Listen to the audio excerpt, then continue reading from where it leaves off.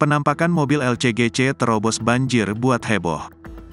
Akhir-akhir ini bencana banjir memang melanda hampir di beberapa daerah di Indonesia, membuat mobilitas pengguna jalan baik motor dan mobil terhambat. Beberapa pemobil ataupun pemotor memilih untuk tidak nekat menerobos banjir tersebut. Hal ini lantaran bisa merusak komponen mesin. Namun tak sedikit dari mereka pun nekat menerobos banjir yang cukup tinggi tersebut demi sampai ke tempat tujuan. Salah satunya yang dilakukan oleh pengendara LCG C1 ini. Pengendara mobil tersebut seperti tidak memperdulikan kesehatan mesin mobilnya. Padahal air banjir bisa menyebabkan kerusakan jangka panjang pada beberapa komponen mesin. Namun mobil tersebut terlihat tidak mengalami masalah apa pun. Terlihat dalam unggahan, tampak suasana jalanan yang dipenuhi genangan air banjir.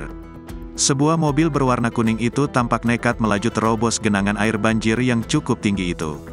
Terlihat mobil kuning itu hampir setengah bodinya terendam.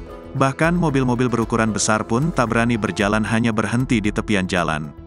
Sesekali mobil kuning itu tampak sedikit terbawa arus namun pengemudi dapat membuat stabil kembali. Sang perekam pun terdengar berteriak histeris kala mobil kuning itu nekat terobos banjir. Belum diketahui bagaimana kelanjutan dari mobil yang nekat terobos banjir itu namun unggahan mendapat beragam komentar warganet.